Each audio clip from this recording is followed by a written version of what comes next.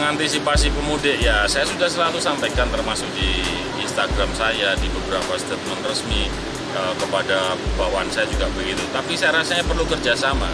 Jadi jangan kita yang di bawah di lapangan itu yang ditekan terus suruh mendata orang masuk ke Semarang. Kenapa nggak waktu berangkat dari Jakarta dia didata dulu? Supaya kita nggak kerepotan, tinggal nyocokin aja. Jakarta didata, berapa yang mau masuk Semarang? 90. Semarang kita data, 94 berarti ada sisa 4. 4 itu yang kemudian kita telisik harus gimana Tapi kalau semuanya selalu di daerah, ayo Semarang ini ada bis masuk dari Jakarta, ayo Wonogiri ini ada bis. Ya terus yang Jakarta kerjanya apa? Ini makanya harus disinkronkan supaya jangan semuanya jadi kesalahan yang di lapangan. Daerahnya. Nah, saya sudah sampaikan ini kepada Pak Gubernur, Pak Ganjar untuk bisa koordinasi lebih aktif dengan Gubernur DKI uh, supaya mereka uh, bisa berkomunikasi baik berapa yang berangkat dari Jakarta ke, Jawa Tengah ini terutama di Semarang.